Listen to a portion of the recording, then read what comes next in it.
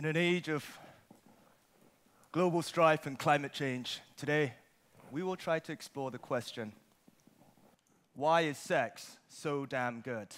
Of course, a very important question, but before we get to that, let's look at a couple of solar powered clocks. Here's the first solar powered clock. As you know, sunflowers work by tracking the sun across the sky. This clock works with a dwarf sunflower.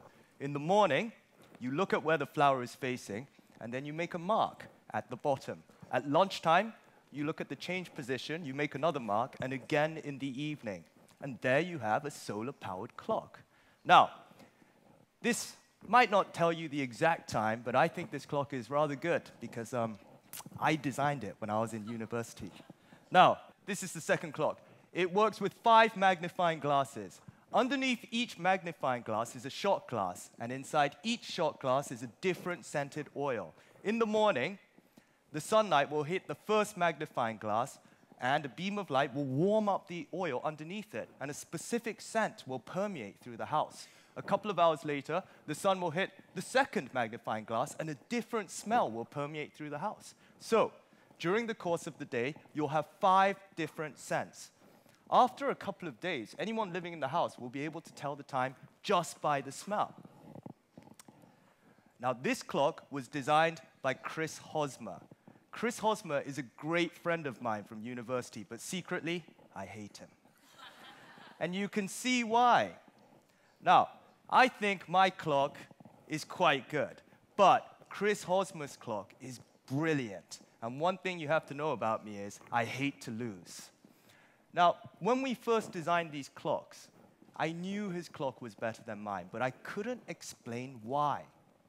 This problem has been bugging me for over a decade. So, let's get back to the question of why sex is so great. A previous girlfriend of mine once proposed maybe sex is so good because of the five senses. And when she said this, I had an epiphany. So, in order to test this theory out, I developed something called the five senses graph. It's very simple. Along the y-axis, you have a scale from 0 to 10, and along the x-axis, you have the five senses. So, I'll show you how it works.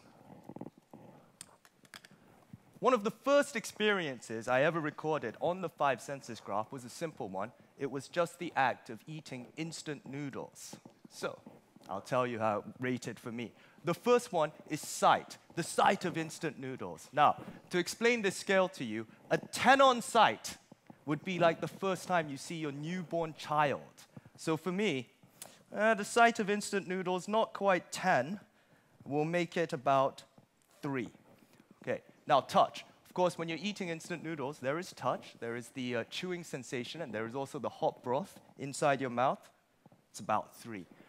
Next, you have smell. 70% of the taste experience, I'll make that six. There is sound when you eat instant noodles. There's that unfortunate slurping sound, I'm sure you know.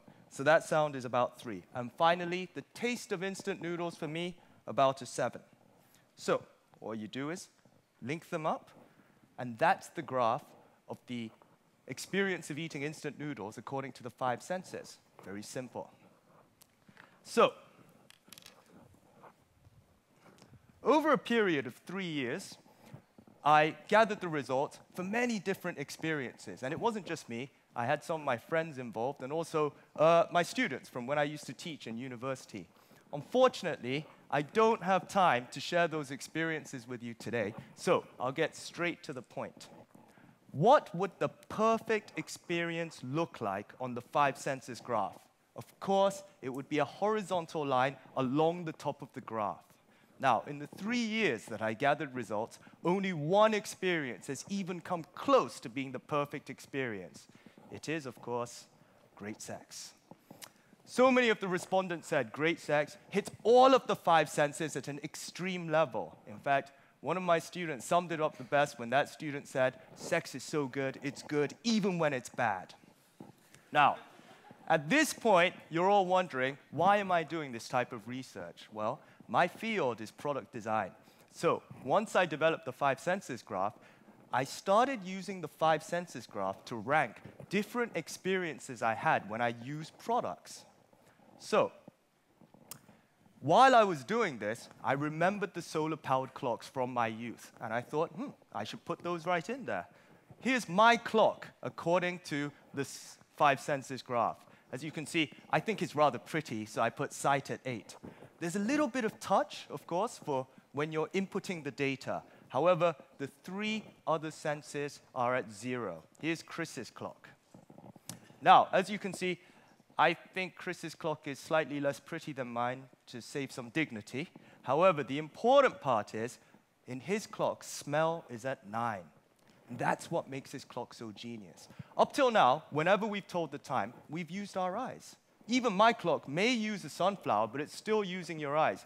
Chris's clock uses a whole new sense that has previously not been associated with telling time, and it's brilliant. That's what the five senses graph has told me about product design. Too many designers these days make things, design things to be pretty and perhaps a little bit of touch, but they ignore the other three senses. Chris's clock teaches us that if you can design something and use one of the ignored senses, it can be a brilliant product. The Great Sex Graph teaches us if you can design a product that looks like that graph, you'll be richer than God. Now, the five senses graph has told me a whole bunch of other things. For example, why riding a Kawasaki Ninja through a tunnel at 2 a.m. is brilliant. Why the Nintendo Wii is better than any previous game console. And of course, how pornography led to the adoption of the VCR. But I'll save those stories for another day. Until then, please remember, great design is about meeting the needs of the five senses. Now, before I leave, I do hope this is the experience you have watching all the TED Talks today. However, we could boost up a couple of the senses, and the best way to do that is with free candy. So here you go.